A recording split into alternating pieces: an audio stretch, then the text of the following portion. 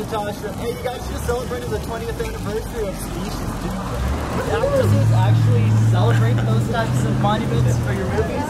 I'm just thrilled that after 20 years you can even recognize me, honestly. Yeah, you look you great. actually look great. You actually look amazing. You... Anything to say to your fans? Huh? Um, thanks for tuning in. Thanks for supporting. does it get kind of weird Very at Comic Con when you go to places like that? Does it get kind of weird? Do people like have like an alien fetish or anything like that? Um, if they do, they, they, don't, they don't tell me too much about They about don't it. tell you. They don't get too close when they give you a hug or anything like that. Oh, okay? you okay? yeah. Did you get hit? Yep. Just one like one quick question. Kim Basinger versus you in Species. She was in uh, My Stepmother is an Alien. You versus her. Alien was. Who do you think wins? I'm pretty tough. Oh, come on, I'm Sil. pretty tough. Sil's gonna, Sil's gonna take that down. Thank you so much. Hey, what, what, what happened to your arm, bro?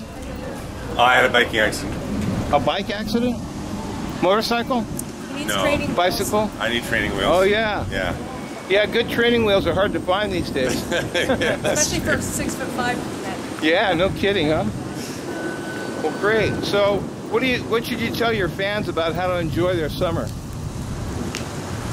Um, find some peace. Get away from your computer and your phone and get into the outdoors. That's where I find my. Beautiful. Well, you look fantastic. Thank you so much. Thank you so Have a good one. Have a good one. Have a Take great care day. with that arm. Thanks, man. All right.